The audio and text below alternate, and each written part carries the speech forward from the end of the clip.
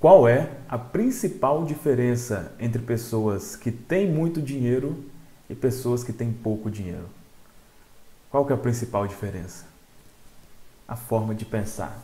Com certeza você já sabe disso. Se você está aqui, você sabe disso. Você sabe disso. Mas como, Fabrício? Como que uma pessoa que tem muito dinheiro pensa? Qual que é a real diferença? Que tipo de pensamento que é realmente muito diferente de um para o outro? É exatamente isso que a gente vai conversar em mais uma série aqui do canal. É, essa série é, vai ser muito especial realmente para mim, que a gente vai destrinchar mesmo esse livro, tá? Deixa eu ver se está aparecendo aqui, legalzinho. Os Segredos da Mente Milionária. O que, que a gente vai conversar aqui nesse livro? Aqui, é, o, o subtítulo, né? Aprenda a enriquecer mudando seus conceitos sobre o dinheiro e adotando os hábitos das pessoas bem-sucedidas. Então, esse livro, ele mostra 17 tipos de pensamentos que diferem pessoas ricas de pessoas pobres. É, esse livro é esplêndido. Esse livro é esplêndido. Aqui no canal, esse é um, um dos assuntos que eu mais falo, né, sobre crenças limitantes ou paradigmas sobre dinheiro. E aqui a gente vai conseguir imergir dentro desse assunto, né? detalhar ao máximo.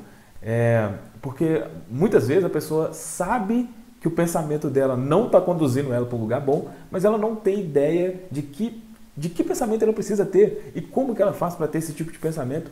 Então a gente vai conversar é, sobre isso de uma forma bem profunda e detalhada nesse livro. E aí eu já quero quebrar uma objeção que algumas pessoas têm e que eu particularmente tinha e que me fez demorar a estudar esse livro, que é: "Ah, mas eu não quero ser milionário". Eu não quero ser milionário. E tá tudo bem, se você não quiser, isso, enfim, isso não é tão relevante assim, sinceramente, né? Ah, eu, a pessoa ter um milhão de reais, isso faz a pessoa feliz necessariamente? Não. Então você obrigatoriamente tem que querer ser uma pessoa milionária? Não necessariamente. Só que o problema é que quanto mais longe o seu pensamento tiver do que tiver descrito aqui, né? ou seja, aqui mostra o pensamento das pessoas que têm muito dinheiro da que têm pouco dinheiro. Se o seu pensamento, muito do que você pensa, tiver condizente com a pessoa que tem pouco dinheiro, você vai passar dificuldades financeiras. E aí, você pode não querer ser milionário, mas eu tenho certeza que você não quer é, ter dificuldade para pagar as contas, que você não quer ir no supermercado e ficar escolhendo as coisas pelo preço, que você não quer não poder fazer uma viagem, não poder ir num, num restaurante, enfim. Eu tenho certeza que você também não quer essas coisas. Então, é, e aí por isso que eu estou te falando exatamente porque era um bloqueio que eu tinha, tá? Então, mesmo que você não necessariamente tenha o desejo de ser uma pessoa né, lá, que esbanje dinheiro, mas se você quer ser uma pessoa próxima, uma pessoa que tem o suficiente para fazer essas coisas que eu estou falando aqui, presta muita atenção nessa série é, e você vai ver realmente como que você pode construir esse tipo de pensamento.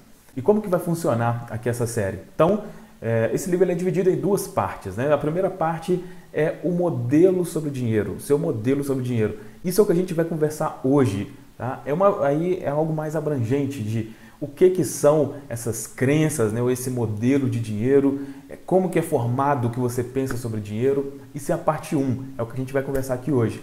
A parte 2 são essas 17 formas de pensar. E a gente vai conversar um por dia, né, para realmente ficar uma coisa bem, é, vamos dizer assim, bem devagar, né? bem, bem, bem, bem passo a passo mesmo, para não ser a gente falar sobre tudo aqui num dia e, enfim, ser aquele overdose de informação e você não fixar nada. Então, um por dia a gente vai conversar aqui. Tá? Então, esse vídeo aqui vai ser um pouco mais demorado, os outros provavelmente vão ser mais curtos.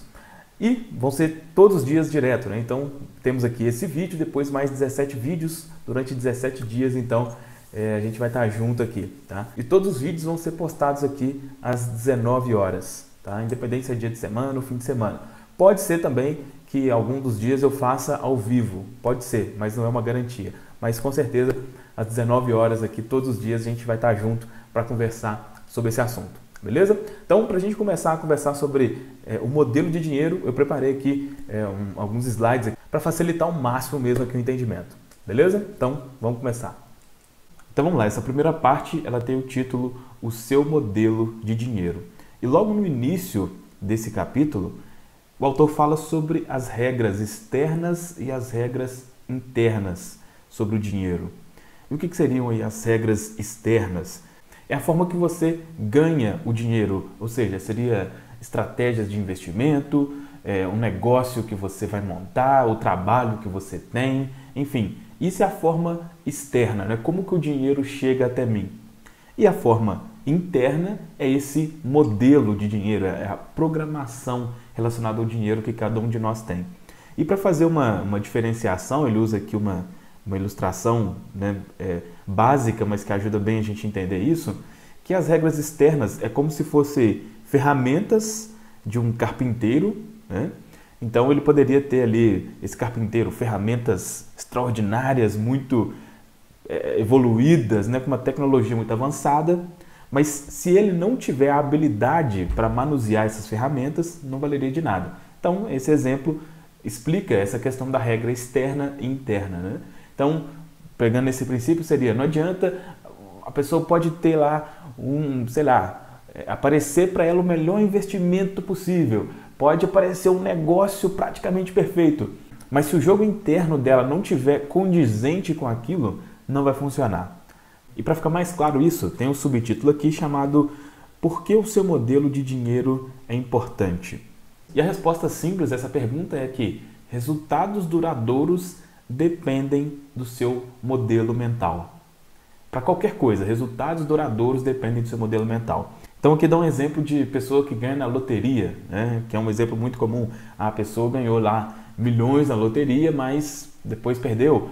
Ou a gente pode aplicar isso, sei lá, Big Brother Brasil, outras coisas assim, a pessoa fica milionária do dia para o outro. É, às vezes jogador de futebol também, né? recebe muito dinheiro e depois perde tudo. Exatamente por quê? Porque esse, esse modelo mental não está condizente. Um outro exemplo, até que eu normalmente dou, é da pessoa que às vezes ela faz uma, uma cirurgia, a pessoa é, tem problema de obesidade, né? Ela faz ali uma cirurgia bariátrica, enfim, qualquer outra cirurgia, ela emagrece drasticamente de forma rápida, mas passa pouco tempo ela volta aquilo tudo de novo. Né? Eu particularmente conheço duas pessoas é, que tiveram esse problema, pode ser que você conheça também. E por que, que não, o resultado não foi duradouro? Porque a mudança aconteceu de uma forma, entre aspas, mágica, né? sem, sem a mudança de mentalidade, e como a mentalidade não mudou, o resultado nunca vai ser duradouro. Então, a resposta simples a essa pergunta, por que, que o, o modelo de dinheiro é importante, é porque a única forma de ter resultado duradouro é exatamente esse. E ele cita um exemplo aqui também do oposto, né? da pessoa que perde muito, mas se a mentalidade dela for de uma determinada maneira, ela consegue recuperar. E aí cita o exemplo do Donald Trump, né? atualmente presidente dos Estados Unidos, mas que já é milionário, enfim, bilionário há muito tempo. Né? E ele cita aqui que ele, bilionário, ele perdeu tudo em uma determinada época, mas em dois anos ele já tinha recuperado tudo de novo, bilhão. Né? Então, como que a pessoa sai do zero para um, bilhão em dois anos? É porque a mentalidade dele já era uma mentalidade direcionada para aquilo. Então, por isso que esse modelo do dinheiro é tão importante. E aí, tem um trecho aqui que eu achei bem interessante, inclusive vou ler na íntegra aqui, só para fixar isso mesmo na mente, que diz assim, olha, as raízes geram os frutos. Imagine uma árvore, suponha que seja a árvore da vida. Nela há frutos. Na vida, os nossos frutos são os nossos resultados. Nós olhamos para eles e não gostamos do que vemos. Achamos que os frutos que produzimos são poucos, muito pequenos ou que o seu sabor deixa a desejar. O que tendemos a fazer então? A maioria de nós dedica ainda mais atenção aos resultados. Mas de onde eles vêm? São as sementes e as raízes que o geram. É o que está embaixo da terra que cria o que está em cima dela. É o invisível que produz o visível. E o que significa isso? Isso quer dizer que se você quer mudar os frutos, primeiro tem que trocar as raízes. Quando deseja alterar o que está visível, antes deve modificar o que está invisível. Tá? Então essa analogia simples aqui mostra para a gente realmente que tudo, é, tudo começa na mente. Né? Pode ser que você já saiba disso, mas é somente para frisar mesmo. E, e, aí falando mais sobre essa programação, é, tem uma parte aqui interessante que ele fala sobre o processo da manifestação do dinheiro né, na vida de cada pessoa. E ele mostra aqui que segue uma, uma seguinte sequência. Eu vou colocar essa sequência aí na tela, que é P SA é igual a R. O que, que isso quer dizer? O P são pensamentos, o S sentimentos, o A ações e o R resultados. Né? Então, pensamentos conduzem a sentimentos, sentimentos conduzem a ações e ações conduzem a resultados. Se você já acompanha o canal aqui, você sabe que eu, eu já falo sobre isso há algum tempo e, na verdade, nem é desse livro, é de um, se não me engano, no livro Poder do Subconsciente fala sobre isso também.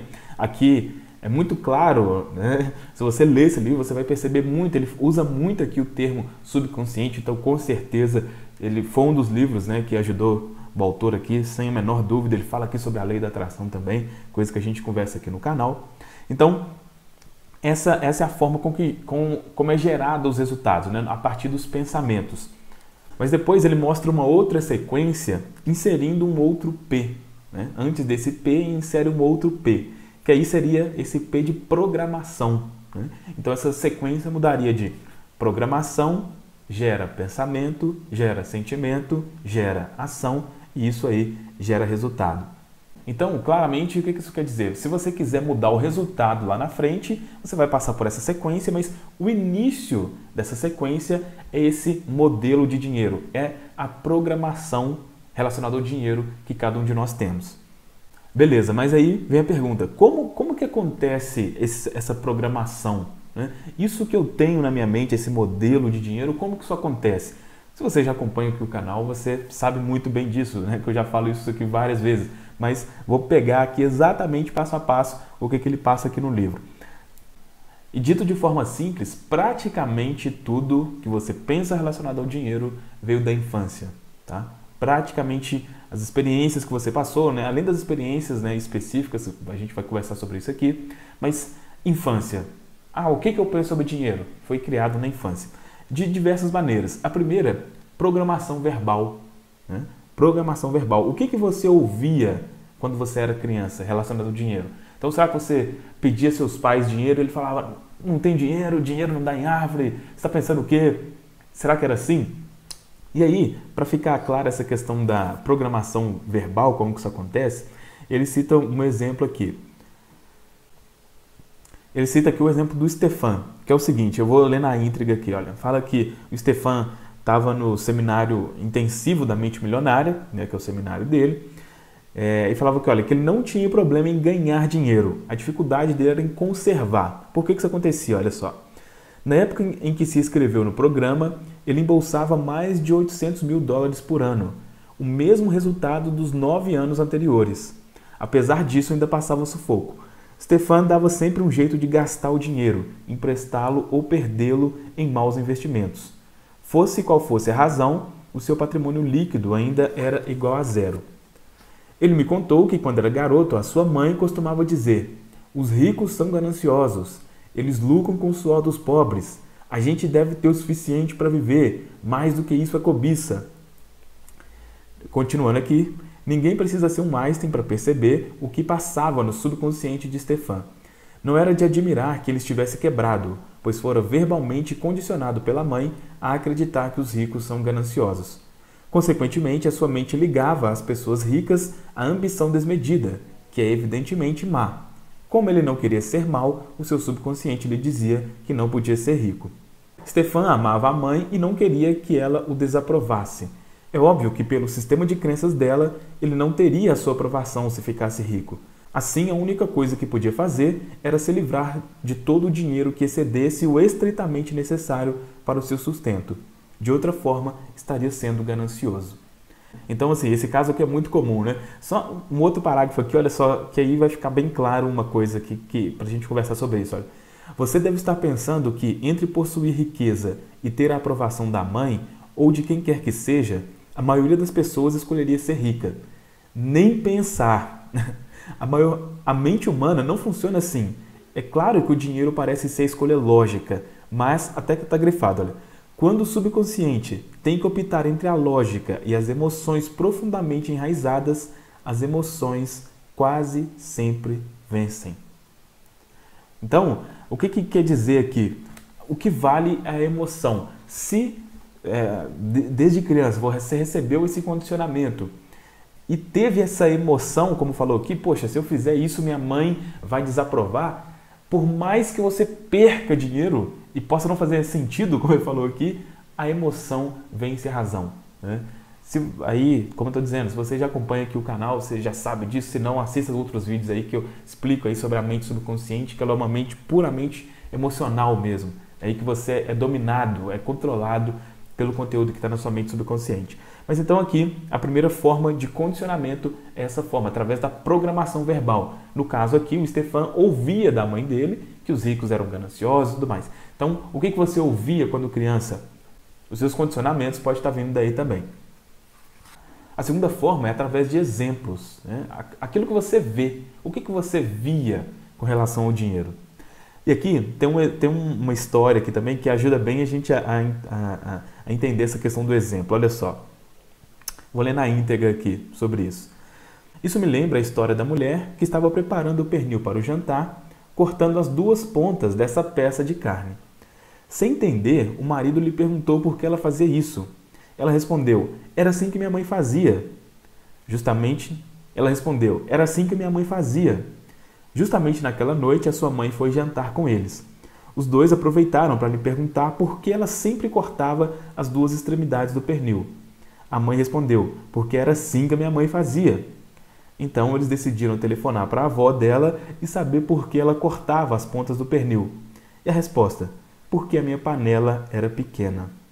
Então esse exemplo aqui mostra como que a gente é condicionado pelos exemplos mesmo, né? Então aqui é um exemplo que não tem nada a ver com dinheiro, mas que serve para absolutamente tudo, inclusive aqui na questão financeira. Então essa é a segunda forma, através dos exemplos. E a terceira forma de essa programação acontecer é através de episódios específicos, né? especialmente episódios com um teor emocional muito forte, eles vão criar é, bloqueios, traumas com relação ao dinheiro. Tá? E aí eu lembro, pessoalmente, eu falando, é, eu quando criança eu lembro muito dos meus pais brigando é, por dinheiro. Então, meus pais se separaram, é, eu era muito novo, né? tinha ali 6, 7 anos, minha, minha irmã um pouco mais que isso, mas mesmo antes deles separarem, ó, chegava uma conta, não tinha dinheiro para pagar, não sei o que, aluguel e tal. Dinheiro frequentemente era motivo de briga. Né? Então o que, que acontecia? Esses episódios faziam com que a minha mente associasse o dinheiro à briga. Então isso foi uma dificuldade para mim, é, é um, foi um tipo de trabalho que eu tive que fazer para eliminar isso. Então episódios específicos pode acontecer. É, aqui no livro ele cita um exemplo da esposa dele. Diz assim, olha, deixa eu achar aqui.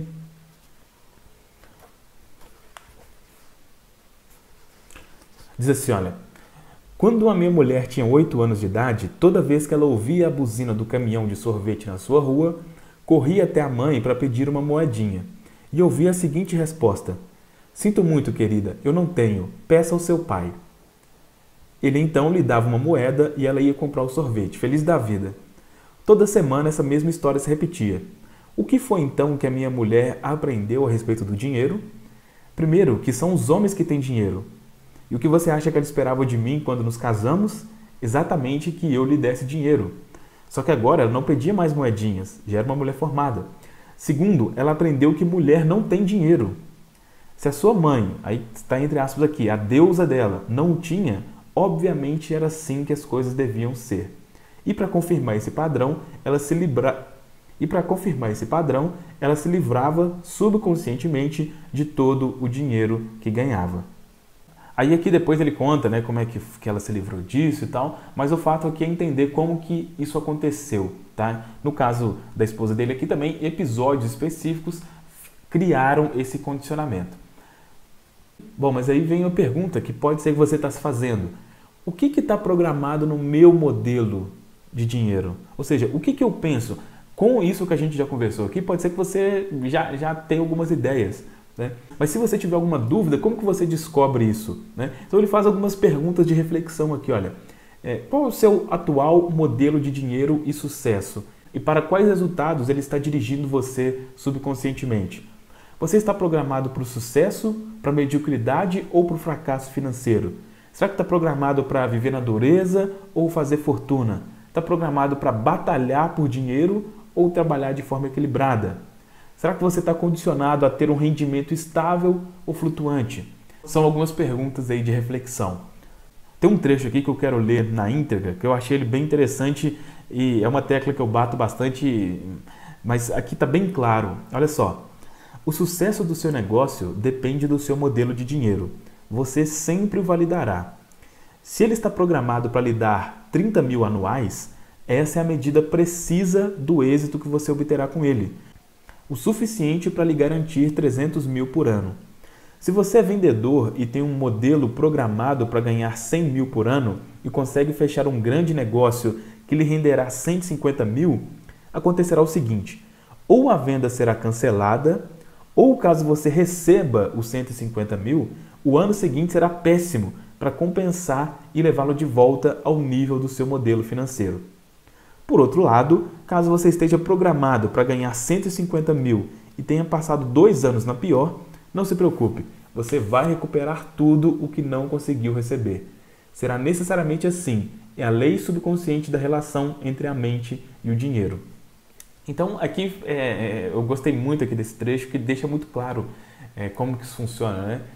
Você nunca, é, é uma tecla que eu bato, você nunca ganha mais do que aquilo que você está programado, que você acredita que pode, que acredita que consegue, que acredita que merece. Se porventura você ganha mais, de algum jeito, de alguma forma subconsciente, você vai perder aquilo. É, é isso que ele deixou claro aqui. Né? E aí, essa pergunta, né? Como que eu posso saber o meu modelo? Como que eu vou descobrir o que, qual que é a minha programação? E aqui é muito simples, né? Ele fala que, olha, uma das maneiras mais óbvias é examinar os seus resultados. Né? Então, analise a sua conta bancária. Então, analise a sua conta bancária, analise a sua renda, o patrimônio líquido, Analise o êxito dos seus investimentos, o sucesso nos negócios, se você é um gastador ou um poupador, se você administra bem o seu dinheiro ou não. Analise o quanto você dá duro para ganhar dinheiro. Analise se o seu dinheiro é, é suado ou ele chega com facilidade. Você tem um negócio ou um emprego. Esse, esse tipo de pergunta faz com que você identifique qual que é o seu modelo, né? o, o resultado, o resultado que você está tendo, isso que a gente conversou aqui, é, inclusive aquela formulazinha né? de P, P tal, e é igual o resultado, pelo resultado você pega e fala, opa, peraí, tal, tal, tal, meu pensamento é esse, meu sentimento é esse, então minha programação é essa. É claro que na segunda parte aqui do livro vai ficar tudo mais claro, né? vai ficar tudo mais claro, com certeza, porque mostrando aí as, as 17 formas de pensar, se você pensar de alguma daquelas formas, você vai se identificar mais facilmente. Né? Então, é, realmente vai ficar tudo mais claro. Mas aqui, acredito que já deu para você ter uma, uma ideia de qual que é o seu modelo sobre dinheiro. Agora, eu vou compartilhar com você aqui é, ele, ele cita aqui, durante toda a parte 1, diversos princípios, ele chama de princípio de riqueza, né? que são algum, alguns pontos aqui, pontos principais dessa parte 1. Então, vou falar elas aqui para você agora. Primeiro, os seus rendimentos crescem na mesma medida em que você cresce. Segundo, se você quer mudar os frutos, primeiro tem que trocar as raízes. Quando deseja alterar o seu estado visível, antes deve modificar o que está invisível. 3. Dinheiro é resultado, riqueza é resultado, saúde é resultado, doença é resultado, o seu peso é resultado. Vivemos num mundo de causa e efeito. Próximo princípio. Em 5 minutos posso prever o futuro financeiro que você terá pelo resto da sua vida. Isso, isso aqui ele afirma na parte aqui que ele fala, né, que ele conversando pouquíssimo tempo com a pessoa já descobre o modelo de dinheiro que ela tem. Próximo, Pensamentos conduzem a sentimentos, sentimentos conduzem a ações e ações conduzem a resultados. Próximo.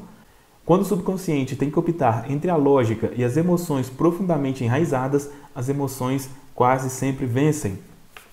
Próximo. A sua razão ou motivação para enriquecer ou fazer sucesso é crucial. Se ela possuir uma raiz negativa, como o medo, a raiva ou a necessidade de provar algo a si mesmo, o dinheiro nunca lhe trará felicidade. Próximo. A única maneira de mudar permanentemente a temperatura de sala é zerar o termostato. De modo análogo, a única maneira de modificar permanentemente o seu nível de sucesso financeiro é zerar o seu termostato financeiro, também conhecido como modelo de dinheiro. E o último, a consciência observa os nossos pensamentos e as nossas ações, para que vivamos das escolhas verdadeiras feitas no momento presente, em lugar de sermos governados por uma programação proveniente do passado. Então, esses são pontos principais aqui da, dessa parte 1 do livro. É claro que aqui é, é algo muito reduzido, né? essa conversa que a gente está tendo aqui. É, eu sugiro fortemente que você compre esse livro, que você leia, é óbvio que você vai tirar mais proveito. A intenção aqui foi tornar mais claro, né? trazer os pontos principais, pelo menos na minha concepção, mas é óbvio que fazendo a leitura você vai tirar outros pontos aí também é, de valor. Né? Bom, espero que tenha sido útil para você essa nossa conversa aqui, dessa primeira parte do livro. Aí a partir de amanhã a gente já vai realmente entrar aqui nos, nos 17 formas de pensar. Né? Então a gente vai conversar aqui é, cada uma delas, né? em cada dia a gente vai conversar uma, então a gente vai estar junto aí por mais 17 dias. É, todos os dias vai ser às 19 horas aqui no canal. Pode ser ao vivo ou pode ser que é, somente suba o vídeo aqui mesmo, aí vai, vai depender, tá? mas às 7 horas da noite, é, durante esses próximos 17 dias aí, a gente vai estar junto para conversar mais aqui e, enfim, destrinchar ao máximo as informações que esse livro esplêndido aqui tem para gente. Beleza? Foi muito bom estar com você aqui hoje. Amanhã eu espero você aqui novamente para o segundo vídeo aqui da nossa série. Beleza? É isso. Tenha uma ótima noite, forte abraço e até amanhã. Tchau, tchau.